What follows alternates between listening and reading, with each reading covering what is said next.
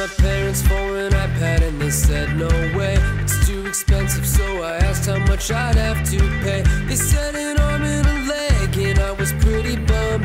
That is until I learned that that was just an idiom.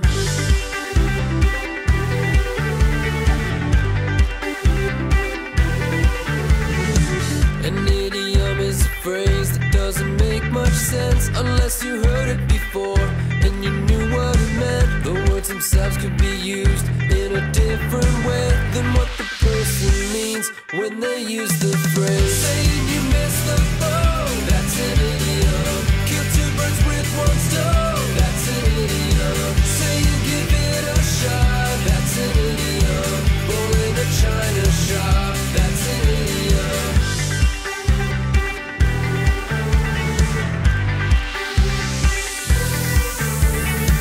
When someone has cold feet, what does that really mean?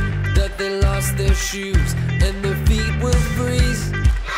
These are cold feet of a different kind. It means that they got nervous and they changed their mind. If we're in the same boat, we don't have to be at sea. It just means you're in the same situation as me. It's raining cats and dogs, is something one might say, but all it really means is that there's lots of rain. That's a piece of cake. That's an idiom. I'm drawing a blade. That's an idiom. Cat's out of the bag. That's an idiom. We're gonna have a blast. That's an idiom.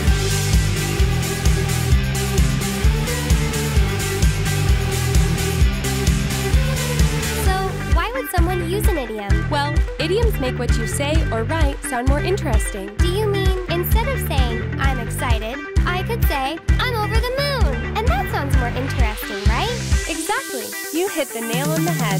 Let's play it by ear. That's an idiom. Crocodile tear. That's an idiom. It came out of the blue. That's an idiom. Have your cake and eat it too. That's an idiom. Barking up the wrong tree. That's an idiom. By the skin of your teeth the other